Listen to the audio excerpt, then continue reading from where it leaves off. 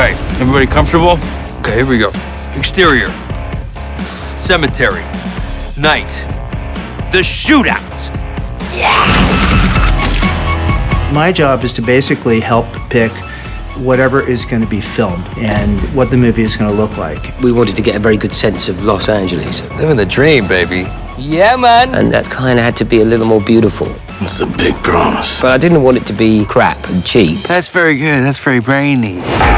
Martin McDonagh, I think, gives a richness, and another character to the film itself through parts of the city you might not have seen on film before. He's just got a funny way of showing it sometimes. This was always in my head like a puzzle, like a gigantic jigsaw. The canvas was pretty big and cinematic. There's still hidden gems and things that have not been exploited, and that's what we set out to do with this movie. How did you describe it specifically? Martin, he was the one that picked the La Brea tar pits and Joshua Tree. Movies are usually bigger stories that jump around different places.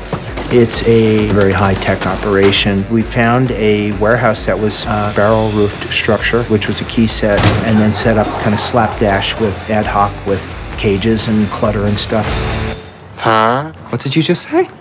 The desert scenes, which are visually stunning, mixed with urban parts of Los Angeles, where we showcased not only downtown, but the beach areas, the valley, Echo Park, Beverly Hills. You know, we're all over. So there are a lot of different visual styles. Don't get technical on me. Joshua Tree, utterly beautiful, but you can't blow up cars there.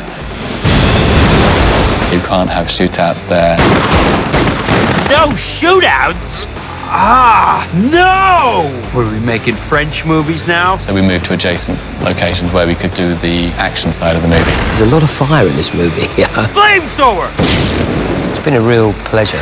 We wanted LA to be quite colorful and vibrant, and it's just, it's refreshing. But don't keep going on about it.